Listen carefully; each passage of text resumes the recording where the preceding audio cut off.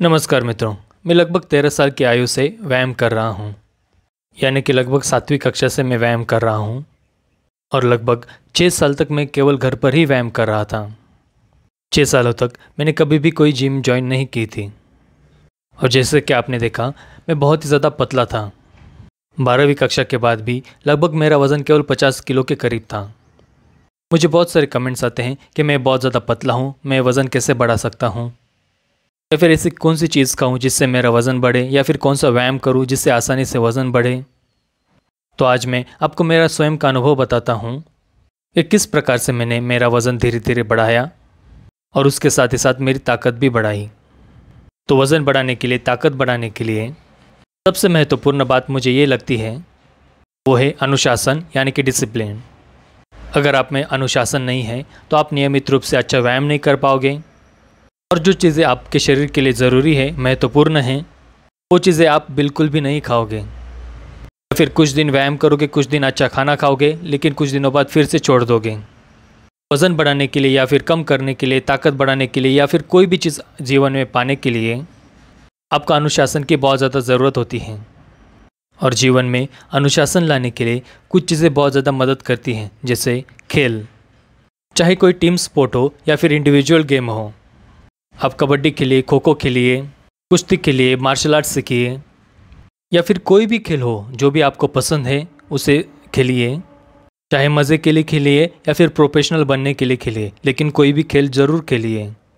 खेल के साथ बहुत सारा ट्रैवल भी कीजिए। नई नई जगहों पर घूमने जाइए, नए लोगों से मिलिए, पहाड़ों में जाइए, रस्तों में घूमिए। जितनी नई चीज़ें सीख सकते हो, उतनी नई चीज़ों को सीखिए, जानिए। इन सभी चीज़ों का जो महत्व है, वो आपके जीवन के अंतिम क्षण तक आपका साथ देने वाला है। क्योंकि चाहे जीवन में कितना ही मोटिवेशन ले लो, कितनी बातें सुन लो, कितनी बातें पढ़ लो, अगर आपके पास अनुशासन नहीं है डिसिप्लिन नहीं है तो वो बातें केवल दो महीनों तक आपके साथ रहने वाली हैं। कुछ दिनों बाद वो मोटिवेशन चला जाएगा, आप फिर उस बातों को छोड़ देंगे। लेकिन एक बार आपने अपने जीवन में अनुशासन ला लिया डिसिप्लिन ला लिया तो वो चीज़ आपके जीवन से कभी भी जा नहीं सकती हैं। फिर आप जो ठान लेते हो, वही करके रहते हो। चाहे उसमें कितना ही समय लग जाए। अभी घर पर रहकर ही कौन कौन से व्यायाम हमें करने चाहिए? जिनसे वज़न बढ़ने में मदद हो, वो देखते हैं। अपर बॉडी के मसल्स बढ़ाने के लिए, ताकत बढ़ाने के लिए हमें दंड सीखना है। जो भी नए बच्चे हैं, जिन्हें शुरुआत करनी है व्यायाम की, दंड नहीं कर पाते हैं, वो इस प्रकार से आधी दंड लगाए, घुटनों पर रहकर। घुटनों पर एक कर जब भी आप बीस दंड आसानी से लगाने लग जाओ, तब आपको इस प्रकार से पूरी तरह से दंड लगाना है। यहाँ पे शुरुआत में आपको रेपिटेशंस केवल 10 से 12 रखनी है और दो या तीन ही सेट लगाने हैं। हर हफ़्ते या फिर हर दो तीन हफ़्ते में आपको रेपिटेशंस बढ़ाते जाने हैं और प्रयत्न करना है कि 20 रेपिटेशंस लगा पाएँ। और जब भी आप साधारण दंड 20 रेपिटेशन बहुत ही आसानी से लगाने लग जाओ, तब आपको साधारण दंड पैरों को ऊपर रखकर करना है, जिससे हमारे चेस्ट, शोल्डर और ट्राइसेप्स और ज़्यादा काम करते हैं। हर एक बात को आपको ध्यान में रखना है, ये सब दंड आपको एक महीने, दो महीने छः महीने, एक साल नहीं करने हैं। ये आपको सालों साल तक करते रहना है, और इसमें आपको धीरे धीरे प्रोग्रेस भी करनी है। इस प्रकार से पैर ऊपर रखकर दंड लगाना भी आसान हो जाए, उसमें भी आपको 20-20 रेपिटेशन आने लग जाए। तब आप राममूर्ति दंड लगाना शुरू कीजिए। राममूर्ति दंड साधारण दंड के जैसा ही होता है, लेकिन इसमें जैसे नीचे जाते हैं, वैसे ही वापस भी आते हैं। तो ये साधारण दंड से ज़्यादा फ़ायदा करता है राममूर्ति दंड। इस प्रकार से आपको धीरे धीरे आगे आगे प्रोग्रेस करते जाना है। इससे आपके चेस्ट, शोल्डर और ट्राइसेप्स की साइज़ बहुत ही ज़्यादा बढ़ती रहेगी। इसके बाद हम बैक और बाइसेप्स की साइज़ बढ़ाने के लिए एक्सरसाइज देखते हैं। घर पर रहकर बैक और बाइसेप्स के एक्सरसाइज के लिए बहुत कम एक्सरसाइजेस हैं, जैसे कि रस्सी चढ़ना पुलअप्स लगाना या फिर रोज़ करना। उसमें से पुलअप्स लगाना हर किसी को नहीं आता है।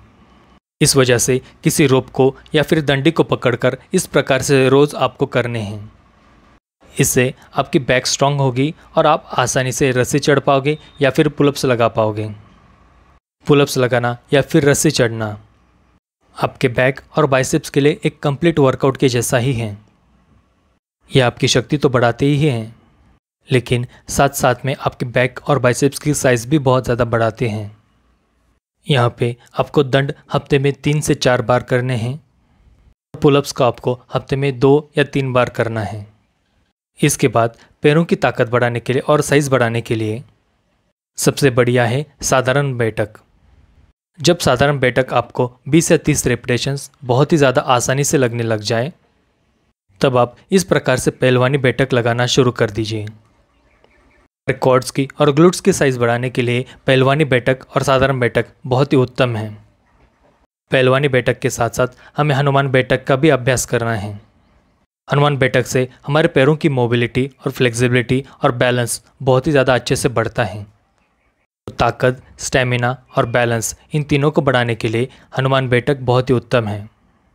इन दोनों बैठक के रेपिटेशंस हमें इन दोनों बैठक के रेपिटेशंस हमें दस से शुरू करने हैं और फिर धीरे धीरे बढ़ाते जाकर पचास, साठ या फिर उससे आगे भी ले जा सकते हैं।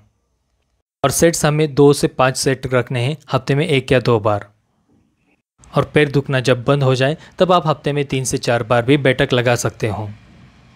इसके साथ साथ आपको अलग अलग एक्टिविटीज़ भी सीखना चाहिए। इसमें आपके बॉडी को अलग अलग चैलेंज मिले और चैलेंज मिलने से ही आपकी बॉडी बढ़ती है, आपका माइंड बढ़ता है। हमारे आजू बाजू में ऐसे बहुत सारे एक्सरसाइजेस होती है जो हम हर रोज़ करते भी हैं। बहुत सारे वज़न होते हैं, उनका हम उठाते भी हैं। ऐसे बहुत सारी चीज़ों की तरफ़ हमें ध्यान रखना है और उन सभी चीज़ों को ट्राई करते रहना है। दंड के या फिर बैठक के बहुत सारे प्रकार हैं, उनको भी आपको ट्राई करते रहना है। जैसे कि मिश्र दंड, हनुमान दंड वृश्चिक दंड, पार्श्व दंड। इन सब की वीडियोस मैंने इस चैनल पर डाली हुई हैं, आप उन्हें ज़रूर देखिए। व्यायाम के बाद हम आहार के बारे में देखते हैं। हमें वज़न बढ़ाने के लिए दूध का उपयोग निश्चित ही करना चाहिए, क्योंकि दूध में हमारे शरीर के लिए आवश्यक ऐसे बहुत सारे घटक होते हैं। इसमें प्रोटीन है, फैट्स है, काब्स हैं, मिनरल्स है, कैल्शियम है।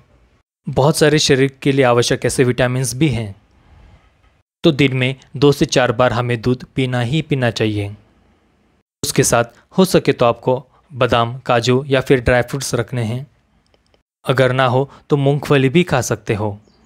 उसके साथ साथ जो भी दालें हैं, चना, राजमा, ऐसी चीज़ों को भी आपके आहार में आपको रखना है।